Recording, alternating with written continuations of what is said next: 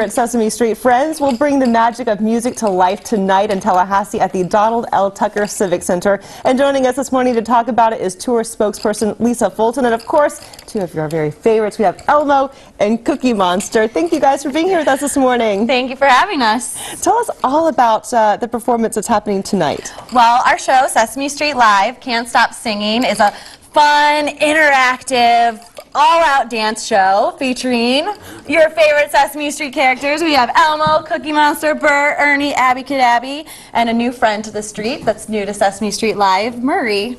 It's a lot of fun. There's two different performances. Is that correct? One at 3 o'clock and one at 6.30? That's correct. We have two shows at the Civic Center tonight at 3 and 6.30. There are plenty of seats available, plenty of opportunities to meet one of your favorite characters and sing and dance along with them. Tell us more about that. So how can people get a chance to not only see them perform on stage, but actually meet them? Right. Well, we do have a special set of uh, seats called the Sunny Seats, where it, with the purchase of a Sunny Seat ticket, you get a chance to meet Elmo and a friend before the show, and you also get prime seating right in front of the stage. But really, with a lot of the seats, the characters come into the audience, they sing and dance with them. So there's plenty of ways to meet your friends and be interactive interactive. That's what I was going to say. How it's an interactive show, which I yes. think is nice. So how can the audience sing along with you guys?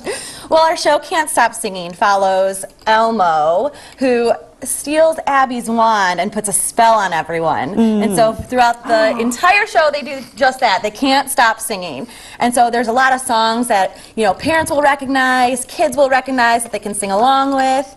Um, there's we teach them dance moves, you know, interactive call and response songs. So like I said, lots of opportunities to sing and dance along. And of course, the Sesame Street characters. I grew up with Sesame Street. You know, generations have grown up yes. with Sesame Street. So this is really an opportunity for families to come together of all different generations. Exactly. Our show is great for kids of all ages, whether those kids are two years old or 62 years old. Sesame Street is timeless, and you know, this is our 34th year touring, and so I'm sure there are parents out there that saw Elmo and Cookie Monster when they were children. Yep, exactly. So bring the little ones out, and it's today, uh, 3 o'clock and 6.30 p.m. That's right. And uh, what do people need to know if they want to come out? Um, you know, you can find everything you need to know at sesamestreetlive.com. There's information on how to get tickets, information about, you know, the various ticket prices. You can also contact Ticketmaster or you can go to the Civic Center box office and they'll help you out as well. But SesameStreetLive.com has all sorts of information, not just about our show, but Sesame Street Live in general. Okay, wonderful. So you can check out these guys tonight. You want to see them at the Civic Center, and we are so happy to have you guys here at our studio this morning. Uh, what a special treat that we have. So thank you so much. Let's toss it over now to Erin for another check of the weather. Hey, Erin.